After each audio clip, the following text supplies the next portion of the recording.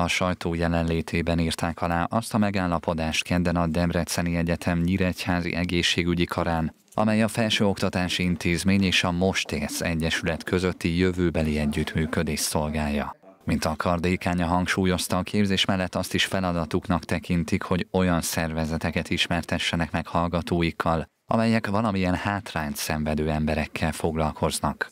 Ehhez az együttműködéshez a náluk dolgozó szakemberek tudásával járulnak hozzá, az autizmussal élő emberek életének megkönnyítése érdekében.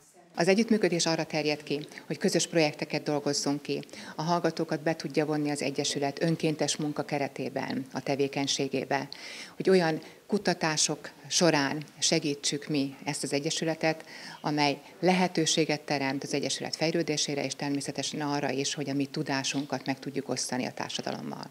Magyarországon a lakosság mintegy 1%-ánál körülbelül 100 ezer embernél diagnosztizáltak autizmus spektrumzavart, de a becslések szerint az érintettek ennél jóval többen lehetnek. A Mosténsz Egyesület célja ezeknek az embereknek a segítése. Mosténsz Egyesület zászlósodjára azt a célt tűzte ki 2013-as megalakításakor, hogy azokat az ismereteket, amelyekkel Nyugat-Európában, Amerikában rendelkeznek, az autizmus kialakulási mechanizmusa és annak a befolyásolhatósága felől, ezeket az orvosi protokollokat Magyarországon eh, minél szélesebb körbe, úgy mint szakemberek, mint szülők, pedagógusok részére terjeszteni fogunk. Céljuk, hogy a nemzetközi tapasztalatokat, módszereket a hazai gyakorlatba is átültessék. Ezekkel ismertetnék meg az érintetteket az egyetem és az egyesület első közös rendezvényén is. Április 23 és 25 között Nyíregyházan az egészségügyi karon kerül megrendezés az első magyar nemzetközi biomedikális autizmus kutatás és kezelési képzés.